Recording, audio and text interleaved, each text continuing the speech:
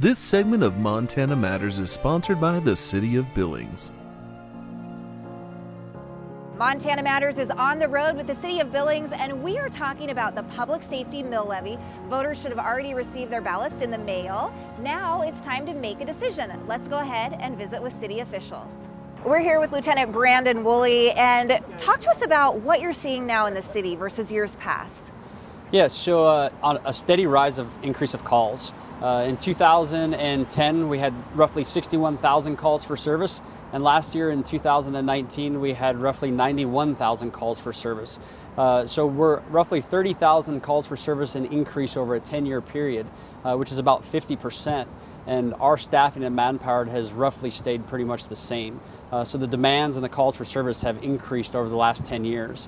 And that all equates to roughly about 250 calls for service every single day. Wow, okay, so what sort of an impact will this mill levy have on right. the city? So with that increase in crime and calls, uh, our violent crimes have doubled in the last 10 years as well. And so our officers are busier than ever. Uh, they're responding to more calls every single year.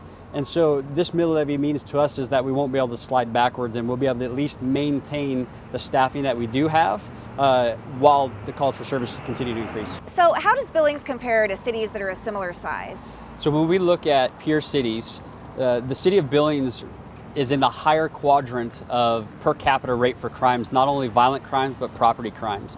Uh, and we don't want to look at ourselves as a, a, point where we're leading in that area. We want to be in those lower quadrants, and right now we're not. All right, well, Brandon Woolley, we want to thank you so much for joining us. Thank you. We're joined by Billings Assistant Fire Chief Pepper Valdez, and thanks so much for joining us. Talk to us a little bit about what we're seeing now in the city of Billings versus in years past. Absolutely. Um, thank you for having us. We appreciate yeah. the time. Uh, what we're seeing is a upward trend uh, in our call volume. Uh, in 2010, we ran roughly um, 10,800 calls, and in 2019, we actually hit a milestone of 17,000 calls. Wow. Um, that's about a 57% increase. And what we're seeing is uh, pretty much everything. It's proportionate. We're seeing a lot of mental health, um, op opioid addiction, um, and then along with all of our other standard um, structure fires and rescues and hazardous material calls. Right, so a lot of people don't realize the fire department handles a lot more than just fires. Our title says fire department, yeah. but we do more than that. We are an all hazards department. So a lot of stuff falls in our lap. We've, uh, we're basically the catch-all, if you will. We do, um, like I said, hazardous materials. We do rescues either from the rims or the river and a lot of EMS, a lot of, uh, a lot of our calls, I'd say about 60% of ours is uh, emergency medical response. All right, and what will the mill levy do?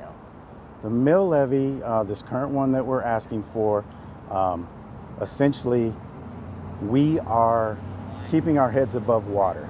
Uh, we are maintaining uh, to provide the best level of service that we can possibly provide to our community. But if we go backwards, um, we're going to lose a lot of that. The level of service will uh, go down. Uh, and that's not what we want. The City of Billings deserves more. We feel like we're doing a good job, but we can absolutely always do better. Uh, but this particular one will allow us to maintain what we're doing. All right. Well, we want to thank you so much for joining us and for all of this information. Thank you. Appreciate it. Now remember, the ballots are due September 15th, so to make sure to pop these in the mail or you can drop them off in person. This has been Montana Matters on the road.